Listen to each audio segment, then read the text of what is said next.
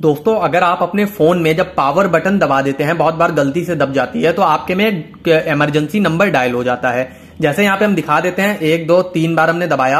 अब यहाँ पे देख सकते हैं इमरजेंसी नंबर मेरे में जो है वो डायल हो गया। आप इसको हटाना चाहते हैं ताकि आपकी पावर बटन कितनी भी बार दबे या फिर तीन बार दबे तो फिर आपके में इमरजेंसी नंबर डायल ना हो। ये आप कैसे करेंगे? इसके लिए आपको क्या करना है, आपको जाना है अपने फ़ोन की सेटिंग्स में।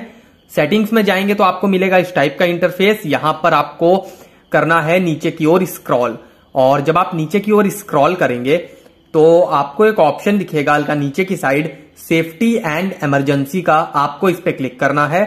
इस पे क्लिक करेंगे तो आपके सामने इस टाइप का इंटरफेस आएगा।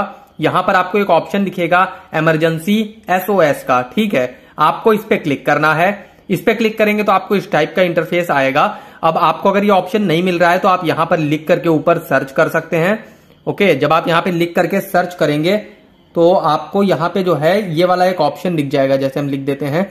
ये देखिए, इस पर आप क्लिक करेंगे तो यहाँ पे आप आ जाएँगे और यहाँ पे आपको ये ऑप्शन दिख जाएगा। आप इस पर क्लिक करिए और एसओएस कॉल ये जो यहाँ पे दिखा रहा है, आप इसको बंद कर दीजिए।